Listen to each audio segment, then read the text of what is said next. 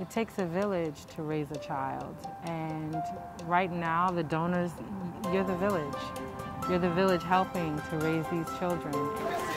Without food, people are, are lost.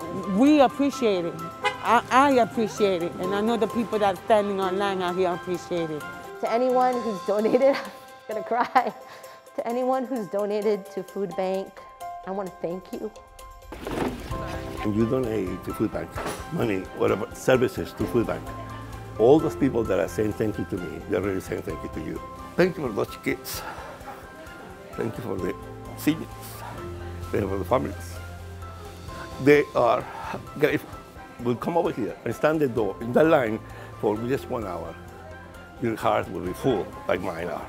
If we didn't have the support of Food Bank, a lot of families would be coming to us and they would be being turned away empty handed. A lot of kids would be going to bed hungry at night, and not just kids, but everyday people who never thought they would ever have to come to a food pantry wouldn't have a place to turn to if it weren't for Food Bank support. Please continue to bless other families like mine. Come out here and see these people the way they are and the way they be doing things and things they have to do to get food. So it's, it's hard and We are truly grateful. And please keep doing, so help us out. Help the people, help you from your heart, your warm heart. I like to believe that maybe God is going to check for fingerprints. Maybe God is not going to check your fingerprints. He's going to check the fingerprints of the people you touched, who you touched in this life. When they came in touch with you, were their lives better or worse because they met you?